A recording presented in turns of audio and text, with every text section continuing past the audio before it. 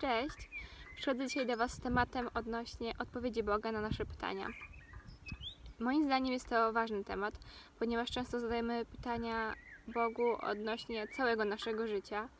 No i oczekujemy odpowiedzi, która stety, niestety czasem przychodzi szybciej, czasem przychodzi później, ale tak to już jest. Nie wszystko jest tak łatwo. I właśnie Bóg nam daje odpowiedzi na nasze pytania za każdym razem.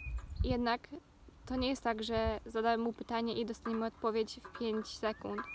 Potrzebuje Bóg, tak samo jak i my, czasu do namysłu. E, ale zawsze ma dla nas tą odpowiedź, której często możemy nie zauważyć, ponieważ może przyjść ona w Piśmie Świętym, może przyjść ona w modlitwie, w myślach, w drugim człowieku lub nawet w naszej codzienności. I jest to właśnie też y, trudne do zauważenia tej odpowiedzi, bo nie zawsze ją zauważymy. Czasem dopiero z perspektywy kilku dni, a czasem możemy nawet nie zauważyć, że pytaliśmy i dostaliśmy do odpowiedź w ten właśnie sposób.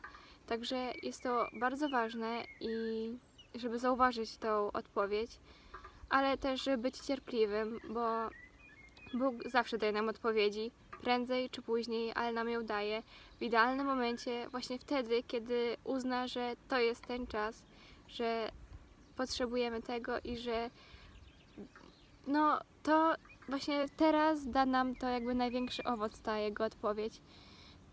Więc y, nie bójcie się, nie bójcie się pytać Pana Jezusa o wszystko, nawet o najdrobniejsze rzeczy. Ale jeżeli właśnie czujecie taką potrzebę porozmawiania z przyjacielem, to zadawajcie mu pytania i na pewno dostaniecie odpowiedź. Nie bójcie się tego. Dlatego właśnie dzisiaj macie za zadanie podziękować Bogu za taką odpowiedź, która może zmieniła wasze życie, która jest dla was bardzo ważna, na którą może czekaliście długo. I właśnie podziękujcie bardzo szczerze za to, że Bóg wam dał taką odpowiedź w takim czasie i o takiej porze.